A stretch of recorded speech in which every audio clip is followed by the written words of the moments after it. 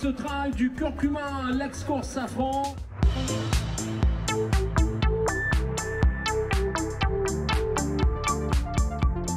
Giovanni.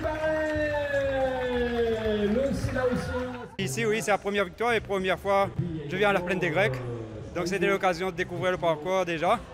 Et comme j'ai pas fait les courses du Grand Raid, donc euh, la forme était là et ça a marché aujourd'hui. Super bien aujourd'hui, je me sens bien, bien aujourd'hui. Avant je faisais Sarfil, je connais, je connais le parcours. J'ai, ça fait, ça fait 7-8 ans que je fais euh, avant, avant de commencer la, la course, le trail.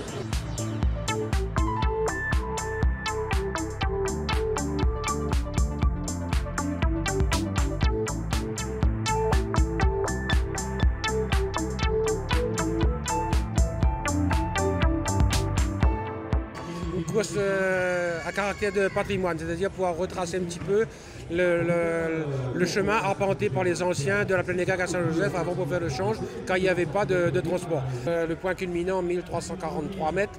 Et ensuite, on a la grande descente vers Piton Volta, chemin Bel Air, et arriver euh, sur le champ de foire de la fête du Safran.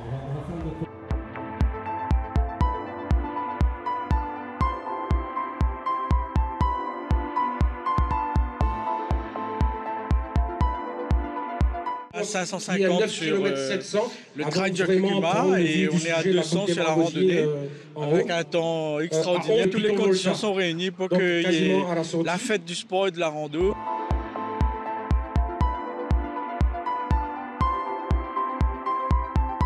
Non, malheureusement, nous, on ne peut pas y aller puisqu'on est dans l'organisation. C'est peut-être aussi l'excuse. Il va faire chaud incontestablement parce qu'il fait très beau ce matin. Et puis, je pense que cette euh, fête de la plaine des Grecs, sous un aspect sportif déjà, euh, s'annonce vraiment sous, sous de bons auspices.